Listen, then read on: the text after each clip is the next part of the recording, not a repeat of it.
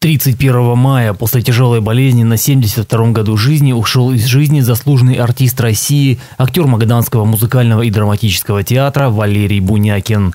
Валерий Васильевич родился 21 января 1949 года в селе Макеев Каданинской области. В детстве участвовал в школьной самодеятельности, в армии выступал в матросском эстрадном оркестре «Чайка».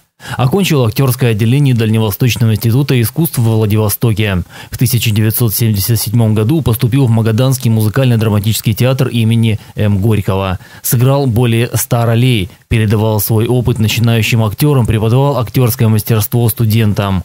Коллектив городского телеканала выражает соболезнования семье и коллегам Валерия Васильевича Бунякина.